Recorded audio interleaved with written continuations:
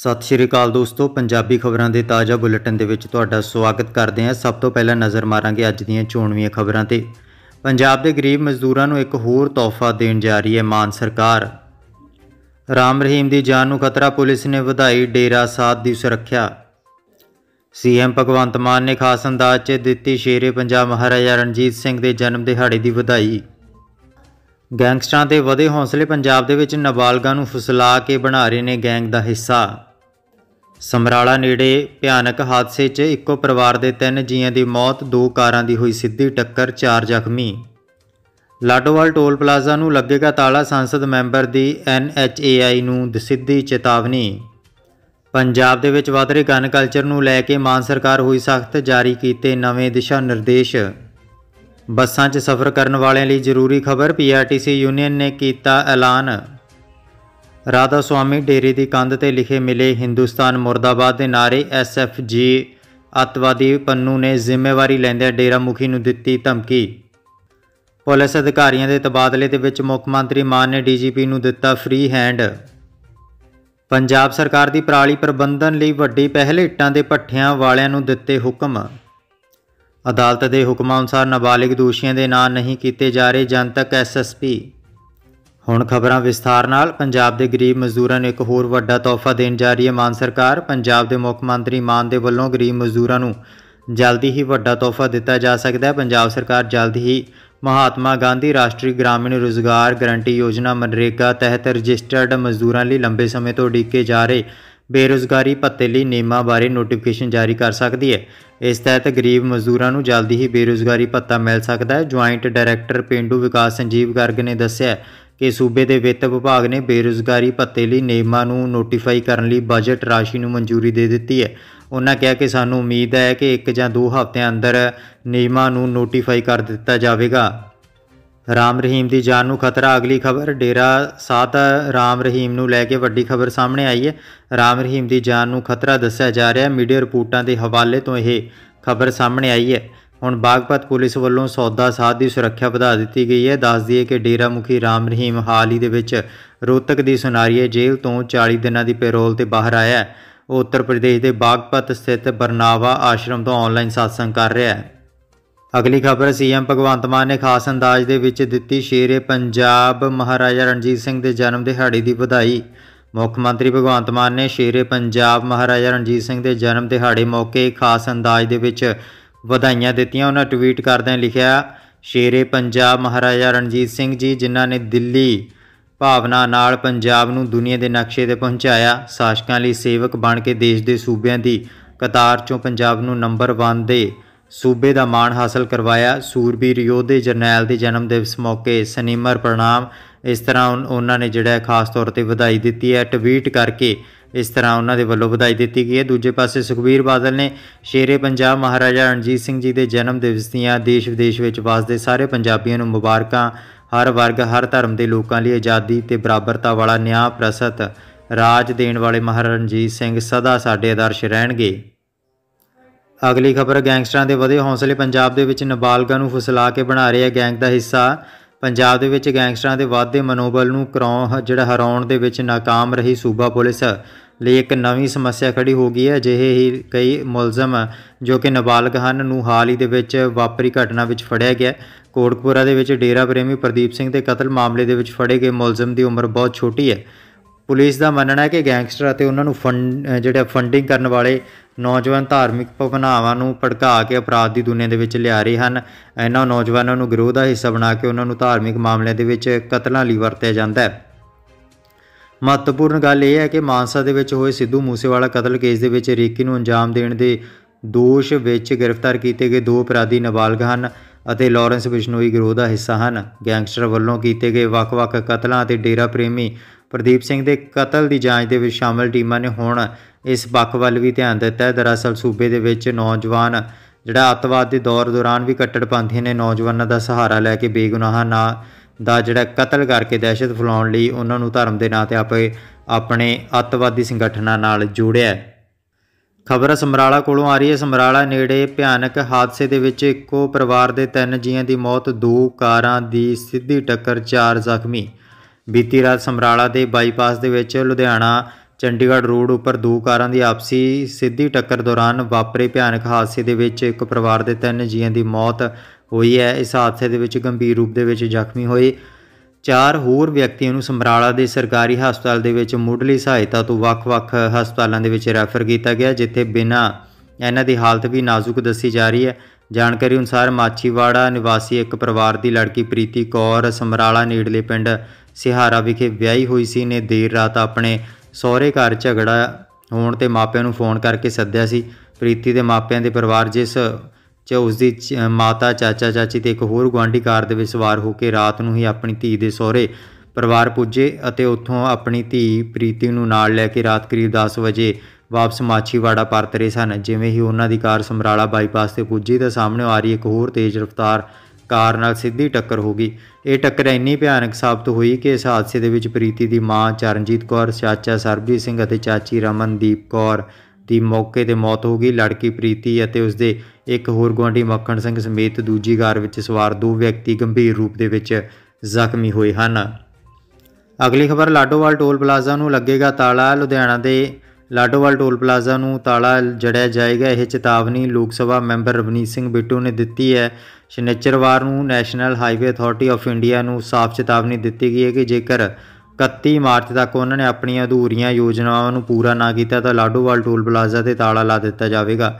ਰਵਨੀਤ ਬਿੱਟੂ ਨੇ ਦੱਸਿਆ ਕਿ ਕੁਝ ਦਿਨ ਪਹਿਲਾਂ ਉਹਨਾਂ ਨੇ ਸਾਰੇ ਵਿਭਾਗਾਂ ਦੇ ਅਧਿਕਾਰੀਆਂ ਨਾਲ ਮੀਟਿੰਗ ਕੀਤੀ ਸੀ, ਪਰ ਉਸ ਦਾ ਅੱਜ ਤੱਕ ਕੋਈ ਹੱਲ ਨਹੀਂ ਹੋਇਆ। ਇਸ ਦੇ ਵਿੱਚ ਐਨਐਚਏਆਈ ਅਧਿਕਾਰੀਆਂ ਨਾਲ ਅਧੂਰੀਆਂ ਯੋਜਨਾਵਾਂ ਸੰਬੰਧੀ ਵਿਸਥਾਰ ਨਾਲ ਗੱਲਬਾਤ ਕੀਤੀ ਗਈ ਸੀ। ਪੰਜਾਬ ਦੇ ਵਿੱਚ ਵਧ ਰਹੇ ਗਨ ਕਲਚਰ ਨੂੰ ਲੈ ਕੇ ਮਾਨ ਸਰਕਾਰ ਹੋਈ ਸਖਤ ਜਾਰੀ ਕੀਤੇ ਨਵੇਂ ਦਿਸ਼ਾ ਨਿਰਦੇਸ਼। ਹੁਣ ਤੱਕ ਜਾਰੀ ਕੀਤੇ ਗਏ ਅਸਲਾ ਲਾਇਸੈਂਸਾਂ ਦੀ ਅਗਲੇ 3 ਮਹੀਨੇ ਦੇ ਅੰਦਰ ਬਰੀਕੀ ਨਾਲ ਸਮੀਖਿਆ ਕੀਤੀ ਜਾਵੇਗੀ। ਕੋਈ ਨਵਾਂ ਅਸਲਾ ਲਾਇਸੈਂਸ ਉਦੋਂ ਤੱਕ ਨਹੀਂ ਦਿੱਤਾ ਜਾਵੇਗਾ ਜਦੋਂ ਤੱਕ ਡੀਸੀ ਨਿੱਜੀ ਤੌਰ ਤੇ ਸੰਤੁਸ਼ਟ ਨਹੀਂ ਹੁੰਦਾ ਕਿ ਅਜਿਹਾ ਕਰਨ ਲਈ ਅਸਧਾਰਨ ਆਧਾਰ ਮੌਜੂਦ ਹਨ। ਹਥਿਆਰਾਂ ਦਾ ਜਨਤਕ ਪ੍ਰਦਰਸ਼ਨ ਤੇ ਸਖਤ ਮਨਾਹੀ ਹੋਵੇਗੀ, ਜਿਵੇਂ ਕਿ ਸੋਸ਼ਲ ਮੀਡੀਆ ਤੇ ਕਈ ਲੋਕ ਪ੍ਰਦਰਸ਼ਨ ਕਰਦੇ ਆ।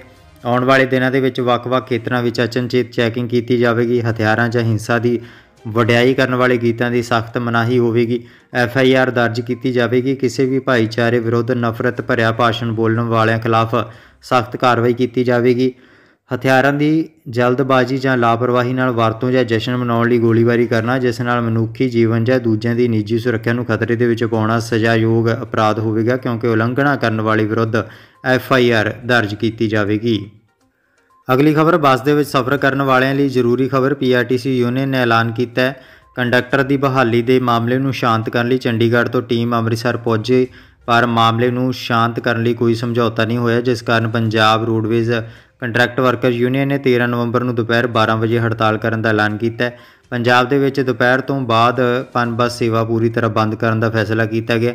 ਜਾਣਕਾਰੀ ਅਨੁਸਾਰ Punjab Roadways contract workers union ਵੱਲੋਂ ਪੰਜਾਬ ਭਰ ਦੇ ਸਾਰੇ ਬੱਸ ਸਟੈਂਡ 2 ਘੰਟੇ ਲਈ ਖੁੱਲ੍ਹੇ ਰੱਖ ਕੇ ਸਰਕਾਰ ਵਿਰੁੱਧ ਰੋਸ ਪ੍ਰਦਰਸ਼ਨ ਕੀਤਾ ਗਿਆ ਪਰ ਅੰਮ੍ਰਿਤਸਰ ਬੱਸ ਸਟੈਂਡ ਨੇ ਇਸ ਚੱਕਾ ਜਾਮ ਦੇ ਵਿੱਚ ਸ਼ਮੂਲੀਅਤ ਨਹੀਂ ਕੀਤੀ। ਖਬਰ ਰਾਧਾ ਸਵਾਮੀ ਡੇਰੇ ਦੀ ਕੰਧ ਤੇ ਮਿਲੇ ਲਿਖੇ ਹਿੰਦੁਸਤਾਨ ਮੁਰਦਾਬਾਦ ਦੇ ਨਾਰੇ ਐਸਐਫਜੇ ਅਤਵਾਦੀ ਪੰਨੂ ਨੇ ਜ਼ਿੰਮੇਵਾਰੀ ਲਈ ਹੈ। ਇੱਥੇ ਇੱਕ ਰਾਧਾ ਸਵਾਮੀ ਡੇਰੇ ਦੀ ਕੰਧ ਉੱਤੇ ਹਿੰਦੁਸਤਾਨ ਮੁਰਦਾਬਾਦ ਦੇ ਨਾਰੇ ਲਿਖੇ ਹੋਏ ਸਨ। ਇਸ ਦੀ ਇੱਕ ਵੀਡੀਓ ਵਿਦੇਸ਼ ਬੈਠੇ ਗੁਰਪਤਵੰਤ ਸਿੰਘ ਪੰਨੂ ਵੱਲੋਂ ਜਾਰੀ ਕੀਤੀ ਗਈ। ਇਸ ਦੇ ਨਾਲ ਹੀ ਡੇਰਾ ਮੁਖੀ ਗੁਰਿੰਦਰ ਸਿੰਘ ਢਿੱਲੋਂ ਨੂੰ ਕੇਂਦਰ ਦਾ ਸਮਰਥਨ ਨਾ ਕਰਨ ਦੀ ਧਮਕੀ ਦਿੱਤੀ ਗਈ। ਉਹਨਾਂ ਨੂੰ ਪ੍ਰਧਾਨ ਮੰਤਰੀ ਮੋਦੀ ਨਾਲ ਮਿਲਣ ਤੋਂ ਬਾਅਦ ਰੋਕਿਆ ਗਿਆ। ਇਸ ਤੋਂ ਲ- ਇਲਾਵਾ ਜਿਹੜੇ ਧਿਆਨਯੋਗ ਇਹ ਹੈ ਕਿ ਅੱਤਵਾਦੀ ਪੰਨੂ ਪਿਛਲੇ ਕੁਝ ਸਮੇਂ ਤੋਂ ਕਾਫੀ ਸਰਗਰਮ ਹੋ ਗਿਆ। ਸੁਧੀਰ ਸੂਰੀ ਦੇ ਕਤਲ ਤੋਂ ਬਾਅਦ ਉਸ ਦਾ ਚੌਥਾ ਵੀਡੀਓ ਸਾਹਮਣੇ ਆਇਆ ਇਸ ਵੀਡੀਓ ਦੇ ਵਿੱਚ ਉਸਨੇ ਪੰਜਾਬ ਦੇ ਫਿਰੋਜ਼ਪੁਰ ਅਧੀਨ ਪੈਂਦੇ ਪਿੰਡ ਤਲਵੰਡੀ ਭਾਈ ਦੇ ਡੇਰੇ ਦੀਆਂ ਕੰਧਾਂ ਤੇ ਲਿਖੇ ਹਿੰਦੁਸਤਾਨ ਮੁਰਦਾਬਾਦ ਦੇ ਨਾਅਰੇ ਦੀ ਵੀਡੀਓ ਵਾਇਰਲ ਕੀਤੀ ਹੈ। ਇਸ ਦੇ ਨਾਲ ਹੀ ਉਹਨਾਂ ਨੇ ਡੇਰਾ ਮੁਖੀ ਗੁਰਿੰਦਰ ਢਿੱਲੋਂ ਅਤੇ ਡੇਰੇ ਦੇ ਸ਼ਰਧਾਲੂਆਂ ਨੂੰ ਖਾਲਿਸਤਾਨ ਜਾਂ, ਅਤੇ ਪਾਕਿਸਤਾਨ ਜਾਂ ਭਾਰਤ ਵਿੱਚੋਂ ਕਿਸੇ ਇੱਕ ਨੂੰ ਚੁਣਨ ਦੀ ਧਮਕੀ ਦਿੱਤੀ ਹੈ। ਅਗਲੀ ਖਬਰ, ਪੁਲਿਸ ਅਧਿਕਾਰੀਆਂ ਦੇ ਤਬਾਦਲਿਆਂ ਦੇ ਵਿੱਚ ਮੁੱਖ ਮੰਤਰੀ ਮਾਨ ਨੇ ਡੀਜੀਪੀ ਨੂੰ ਦਿੱਤਾ ਫ੍ਰੀ ਹੈਂਡ ਪੰਜਾਬ ਦੇ ਵਿੱਚ ਹੋਏ 33 ਉੱਚ ਪੁਲਿਸ ਅਧਿਕਾਰੀਆਂ ਦੇ ਤਬਾਦਲਿਆਂ ਦੇ ਵਿੱਚ ਕੋਈ ਸਿਆਸੀ ਦਖਲਅੰਦਾਜ਼ੀ ਨਹੀਂ ਹੈ ਨਹੀਂ ਰਹੀ ਅਤੇ ਮੁੱਖ ਮੰਤਰੀ ਭਗਵੰਤ ਮਾਨ ਨੇ ਇਹਨਾਂ ਤਬਾਦਲਿਆਂ ਦੇ ਵਿੱਚ ਪੰਜਾਬ ਦੇ ਡੀਜੀਪੀ ਗੌਰਵ ਯਾਦਵ ਨੂੰ ਫ੍ਰੀ ਹੈਂਡ ਦਿੱਤਾ ਤਾਂ ਜੋ ਉਹ ਤੇਜ਼ ਤਰਾਰ ਪੁਲਿਸ ਅਧਿਕਾਰੀਆਂ ਨੂੰ ਜ਼ਿੰਮੇਵਾਰੀ ਦੇ ਸਕਣ। ਮੁੱਖ ਮੰਤਰੀ ਦੀ ਸ਼ਰਤ ਇਹ ਸੀ ਕਿ ਨਵੇਂ ਅਧਿਕਾਰੀ ਇਸ ਤਰੀਕੇ ਨਾਲ ਨਿਯੁਕਤ ਕੀਤੇ ਜਾਣ ਕਿ ਉਹ ਲਾਅ ਐਂਡ ਆਰਡਰ ਨੂੰ ਮਜ਼ਬੂਤੀ ਨਾਲ ਬਣਾ ਕੇ ਰੱਖ ਸਕਣ। ਅਗਲੀ ਖਬਰ, ਪੰਜਾਬ ਸਰਕਾਰ ਦੀ ਪਰਾਲੀ ਪ੍ਰਬੰਧਨ ਲਈ ਵੱਡੀ ਪਹਿਲ, ਇੱਟਾਂ ਦੇ ਪੱਠਿਆਂ ਵਾਲਿਆਂ ਨੂੰ ਦਿੱਤੇ ਹੁਕਮ। ਝੋਨੇ ਦੀ ਪਰਾਲੀ ਦੇ ਪ੍ਰਬੰਧਨ ਦੇ ਵਿੱਚ ਨਿਰੰਤਰ ਉਪਾਰ- ਉਪਰਾਲੇ ਕਰ ਰਹੀ ਸੂਬਾ ਸਰਕਾਰ ਦੇ ਵੱਲੋਂ ਇਸ ਦਿਸ਼ਾ ਨਿਰਦੇਸ਼ ਦੇ ਵਿੱਚ ਅਹਿਮ ਕਦਮ ਚੁੱਕਿਆ ਹੈ। ਸੂਬੇ ਭਰ ਦੇ ਵਿੱਚ ਇੱਟਾਂ ਦੇ ਭੱਠੇ ਵਾਲਿਆਂ ਲਈ ਬਾਲਣ ਵਾਸਤੇ ਪਰਾਲੀ ਨੂੰ 20% ਬਾਲਣ ਵਜੋਂ ਵਰਤਣ ਲਈ ਲਾਜ਼ਮੀ ਕਰਨ ਦਾ ਫੈਸਲਾ ਕੀਤਾ ਗਿਆ ਹੈ। ਇੱਥੇ ਇੱਕ ਜਾਰੀ ਪ੍ਰੈਸ ਬਿਆਨ ਰਾਹੀਂ ਜਾਣਕਾਰੀ ਦਿੰਦਿਆਂ ਵਾਤਾਵਰਣ ਅਤੇ ਸਾਇੰਸ ਤਕਨਾਲੋਜੀ ਤਕਨਾਲੋਜੀ ਮੰਤਰੀ ਗੁਰਮੀਤ ਸਿੰਘ ਮੀਤਹਿਰ ਨੇ ਦੱਸਿਆ ਕਿ ਮੁੱਖ ਮੰਤਰੀ ਮਾਨ ਦੇ ਦਿਸ਼ਾ ਨਿਰਦੇਸ਼ਾਂ ਤਹਿਤ ਸੂਬਾ ਸਰਕਾਰ ਵੱਲੋਂ ਨੋਟੀਫਿਕੇਸ਼ਨ ਜਾਰੀ ਕੀਤਾ ਗਿਆ ਕਿ ਇੱਟਾਂ ਦੇ ਭੱਠੇ ਵਾਲੇ ਪਰਾਲੀ ਦੀਆਂ ਗਿੱਟੀਆਂ ਨੂੰ 20% ਬਾਲਣ ਵਜੋਂ ਲਾਜ਼ਮੀ ਤੌਰ ਤੇ ਵਰਤਣਗੇ। ਇਸੇ ਤਰ੍ਹਾਂ ਉਹਨਾਂ ਨੇ ਕਿਹਾ ਕਿ ਨਵੇਂ ਪ੍ਰਬੰਧਨ ਦੀ ਤਿਆਰੀ ਅਤੇ ਭੱਠਾ ਮਾਲਕਾਂ ਨੂੰ 6 ਮਹੀਨੇ ਦਾ ਸਮਾਂ ਦਿੱਤਾ ਗਿਆ ਅਤੇ 1 ਮਈ 2023 ਤੋਂ ਬਾਅਦ ਇਹਨਾਂ ਹਦਾਇਤਾਂ ਨੂੰ ਲਾਗੂ ਨਾ ਕਰਨ ਵਾਲਿਆਂ ਖਿਲਾਫ ਸਖਤ ਕਾਰਵਾਈ ਕੀਤੀ ਜਾਵੇਗੀ। ਅਗਲੀ ਖਬਰ, ਪ੍ਰਧਾਨ ਮੰਤਰੀ ਕਿਸਾਨ ਸਨਮਾਨ ਨਿਧੀ ਯੋਜਨਾ ਦੇ ਲਈ ਜ਼ਰੂਰੀ ਖਬਰ ਹੈ। 13ਵੀਂ ਕਿਸ਼ਤ ਤੇ ਨਹੀਂ ਮਿਲਣਗੇ 2000 ਰੁਪਏ ਜੇਕਰ ਇਹ ਕੰਮ ਨਾ ਕੀਤਾ। ਜੇ ਤੁਸੀਂ ਪ੍ਰਧਾਨ ਮੰਤਰੀ ਕਿਸਾਨ ਸਨਮਾਨ ਨਿਧੀ ਯੋਜਨਾ ਦੇ ਨਿਯਮਾਂ ਤੋਂ ਜਾਣੂ ਹੋ, ਤਾਂ ਕੁਝ ਸਮਾਂ ਪਹਿਲਾਂ ਹੀ ਜਿਹੜਾ ਹੈ, ਤੁਸੀਂ ਸਾਰੇ ਨਿਯਮ ਬਦਲ ਦਿੱਤੇ ਗਏ। 13ਵੀਂ ਕਿਸ਼ਤ ਦੇ ਲਈ ਰਜਿਸਟ੍ਰੇਸ਼ਨ ਕਰਵਾਉਣੀ ਜ਼ਰੂਰੀ ਹੈ। ਉਹਨਾਂ ਨੂੰ ਰਾਸ਼ਨ ਕਾਰਡ ਦੀ ਕਾਪੀ ਜਮ੍ਹਾਂ ਕਰਵਾਉਣੀ ਜ਼ਰੂਰੀ ਹੈ। ਰਾਸ਼ਨ ਕਾਰਡ ਦੀ ਕਾਪੀ ਨੂੰ pmkisan.gov.in ਤੇ ਅਪਲੋਡ ਕੀਤਾ ਜਾਵੇ। ਜ਼ਮੀਨੀ ਰਿਕਾਰਡ ਦੀ ਤਸਦੀਕ ਕਰਨਾ ਲਾਜ਼ਮੀ ਹੈ। ਇਸ ਤਰ੍ਹਾਂ ਦੀਆਂ ਜਿਹੜੀਆਂ ਖਾਸ-ਖਾਸ ਤੌਰ ਤੇ ਗੱਲਬਾਤ ਕਰਨੀ ਲਾਜ਼ਮੀ ਹੈ ਤਾਂ ਕਿ ਕਿਸਾਨਾਂ ਨੂੰ 2000 ਰੁਪਏ ਦੀ 13ਵੀਂ ਕਿਸ਼ਤ ਮਿਲ ਸਕੇ। ਅਗਲੀ ਖਬਰ, ਅਦਾਲਤ ਦੇ ਹੁਕਮਾਂ ਅਨੁਸਾਰ ਨਾਬਾਲਿਗ ਦੋਸ਼ੀਆਂ ਦੇ ਨਾਂ ਜਨਤਕ ਨਹੀਂ ਕੀਤੇ ਜਾ ਰਹੇ। ਐਸਐਸਪੀ ਭਾਵੇਂ ਪਿਛਲੇ ਦਿਨੀ ਦਿਨ ਦਿਹਾੜੇ ਗੋਲੀ ਨਾਲ ਮਾਰੇ ਗਏ ਡੇਰਾ ਪ੍ਰੇਮੀ ਪ੍ਰਦੀਪ ਰਾਜੂ ਉਰਫ ਦੋਦੀ ਦੇ ਕਤਲ ਦੇ ਸੰਬੰਧ ਵਿੱਚ ਸਥਾਨਕ ਸਿਟੀ ਥਾਣੇ ਦੀ ਪੁਲਿਸ ਨੇ ਮ੍ਰਿਤਕ ਦੀ ਪਤਨੀ ਸਿਮਰਨ ਦੇ ਬਿਆਨਾਂ ਦੇ ਆਧਾਰ ਤੇ ਅਣਪਛਾਤੇ ਹਮਲਾਵਰਾਂ ਖਿਲਾਫ ਆਈਪੀਸੀ ਦੀ ਧਾਰਾ ਅਤੇ ਅਸਲ ਐਕਟ ਦੀ ਧਾਰਾ ਦੇ ਤਹਿਤ ਮਾਮਲਾ ਦਰਜ ਕੀਤਾ ਸੀ, ਪਰ ਹੁਣ ਹਮਲਾਵਰਾਂ ਦੀ ਪਛਾਣ ਹੋਣ ਤੋਂ ਬਾਅਦ ਪੁਲਿਸ ਨੇ ਉਕਤ ਮਾਮਲੇ ਦੇ ਵਿੱਚ ਪੰਜ ਲੜਕਿਆਂ ਨੂੰ ਨਾਮਜ਼ਦ ਕੀਤਾ ਹੈ। ਜ਼ਿਕਰਯੋਗ ਹੈ ਕਿ ਬੀਤੇ ਦਿਨੀ ਸਵੇਰ ਸਮੇਂ ਡੇਰਾ ਪ੍ਰੇਮੀ ਪ੍ਰਦੀਪ ਰਾਜੂ ਦੀ ਉਸ ਸਮੇਂ ਗੋਲੀਆਂ ਮਾਰ ਕੇ ਹੱਤਿਆ ਕਰ ਦਿੱਤੀ ਗਈ ਸੀ, ਜਦ ਉਹ ਆਪਣੀ ਦੁਕਾਨ ਖੋਲ੍ਹਣ ਲਈ ਆਇਆ ਸੀ। ਹਮਲਾਵਰਾਂ ਦੀ ਗੋਲੀ ਨਾਲ ਰਾਜੂ ਦੋਦੀ ਦਾ ਗਨਮੈਨ ਅਤੇ ਗੁਆਂਢੀ ਵੀ ਜ਼ਖਮੀ ਹੋ ਗਏ ਸਨ। ਸਥਾਨਕ ਸਿਟੀ ਥਾਣੇ ਦੀ ਪੁਲਿਸ ਨੇ ਉਕਤ ਮਾਮਲੇ ਦੇ ਵਿੱਚ ਭੁਪਿੰਦਰ ਸਿੰਘ ਗੋਲਡੀ ਅਤੇ ਮਨਪ੍ਰੀਤ ਸਿੰਘ ਮਨੀ ਵਾਸੀਆਂ ਸਾਦਿਕ ਰੋਡ, ਫਰੀਦਕੋਟ ਸਮੇਤ ਜਤਿੰਦਰ ਉਰਫ ਜੀਤੂ ਵਾਸੀ, ਕਲਾਨੌਰ ਜ਼ਿਲ੍ਹਾ ਰੋਹਤਕ, ਹਰਿਆਣਾ ਸਮੇਤ ਦੋ ਹੋਰ 14 ਅਤੇ 15 ਸਾਲਾਂ ਦੇ ਲੜਕਿਆਂ ਨੂੰ ਨਾਮਜ਼ਦ ਕੀਤਾ ਪਰ ਪੁਲਿਸ ਮੁਤਾਬਕ ਉਹ ਅਦਾਲਤੀ ਹੁਕਮਾਂ ਮੁਤਾਬਕ ਨਾਬਾਲਗ ਲੜਕਿਆਂ ਦਾ ਨਾਮ ਜਨਤਕ ਨਹੀਂ ਕਰ ਰਹੇ ਹਨ। ਸੰਪਰਕ ਕਰਨ ਤੇ ਰਾਜਪਾਲ ਸਿੰਘ ਸੰਧੂ ਐਸਐਸਪੀ ਫਰੀਦਕੋਟ ਨੇ ਉਕਤ ਮਾਮਲੇ ਦੇ ਵਿੱਚ ਉਕਤਾਨ ਸ਼ੂਟਰਾਂ ਨੂੰ ਨਾਮਜ਼ਦ ਕਰਨ ਦੀ ਪੁਸ਼ਟੀ ਕਰਦਿਆਂ ਆਖਿਆ ਕਿ ਦਿੱਲੀ ਦੇ ਸਪੈਸ਼ਲ ਸੈੱਲ ਵੱਲੋਂ ਕਾਬੂ ਕੀਤੇ ਲੜਕਿਆਂ ਨੂੰ ਪੁੱਛ ਕੇ ਚੱਲੀ ਲਿਆਂਦਾ ਜਾਵੇਗਾ ਤੇ ਉਮੀਦ ਹੈ ਕਿ ਗੋਲਡੀ ਤੇ ਮਨੀ ਨੂੰ ਵੀ ਜਲਦ ਕਾਬੂ ਕਰ ਲਿਆ ਜਾਵੇਗਾ ਅਗਲੀ ਖਬਰ, ਅੰਮ੍ਰਿਤਸਰ ਤੋਂ ਆ ਰਹੀ ਹੈ। ਅਣਪਛਾਤੇ ਵਾਹਨ ਨੇ ਮੋਟਰਸਾਈਕਲ ਨੂੰ ਮਾਰੀ ਟੱਕਰ, ਬੇਟੇ, ਬੇਟੀ ਸਮੇਤ ਪਤੀ ਪਤਨੀ ਦੀ ਮੌਤ ਅੰਮ੍ਰਿਤਸਰ ਦੇ ਵਿੱਚ ਦੇਰ ਰਾਤ ਨਜਾਇਜ਼ ਰੇਤ ਦੀ ਢੋਆ ਢੋਈ ਕਰ ਰਹੇ ਇੱਕ ਵਾਹਨ ਨੇ ਮੋਟਰਸਾਈਕਲ ਨੂੰ ਟੱਕਰ ਮਾਰ ਦਿੱਤੀ, ਜਿਸ ਕਾਰਨ ਪਤੀ ਪਤਨੀ ਅਤੇ ਇੱਕ ਬੇਟੇ ਅਤੇ ਬੇਟੀ ਦੀ ਮੌਤ ਹੋ ਗਈ ਮ੍ਰਿਤਕ ਪਰਿਵਾਰ ਆਪਣੇ ਪਿੱਛੇ ਦੋ ਲੜਕੀਆਂ ਛੱਡ ਗਿਆ। ਘਟਨਾ ਅੰਮ੍ਰਿਤਸਰ ਦੇ ਅਜਨਾਲਾ ਅਧੀਨ ਪੈਂਦੇ ਪਿੰਡ ਸਰੰਗ ਦੇਵ ਦੀ ਹੈ। ਮ੍ਰਿਤਕ ਦੇ ਭਰਾ ਕੁਲਦੀਪ ਸਿੰਘ ਨੇ ਦੱਸਿਆ ਕਿ ਉਸ ਦਾ ਵੱਡਾ ਭਰਾ ਸੁਰਜੀਤ ਸਿੰਘ ਹਲਵਾਈ ਦਾ ਕੰਮ ਕਰਦਾ ਸੀ। ਸੋ ਇਹ ਸਨ ਅੱਜ ਦੀਆਂ ਮਹੱਤਵਪੂਰਨ ਖਬਰਾਂ। ਉਮੀਦ ਹੈ ਕਿ ਤੁਸੀਂ ਵੀਡੀਓ ਨੂੰ ਲਾਈਕ, ਸ਼ੇਅਰ, ਚੈਨਲ ਨੂੰ ਸਬਸਕ੍ਰਾਈਬ ਕਰ ਲਿਆ ਹੋਵੇਗਾ। ਖਬਰਾਂ ਦੇ ਅਗਲੇ ਤਾਜ਼ਾ ਬੁਲੇਟਿਨ ਦੇ ਨਾਲ ਜਲਦ ਹਾਜ਼ਰ ਹੋਵਾਂਗੇ। ਵੀਡੀਓ ਨੂੰ ਅੰਤ ਤੱਕ ਦੇਖਣ ਲਈ ਤੁਹਾਡੀ ਬਹੁਤ ਬਹੁਤ ਮਿਹਰਬਾਨੀ। ਧੰਨਵਾਦ ਜੀ।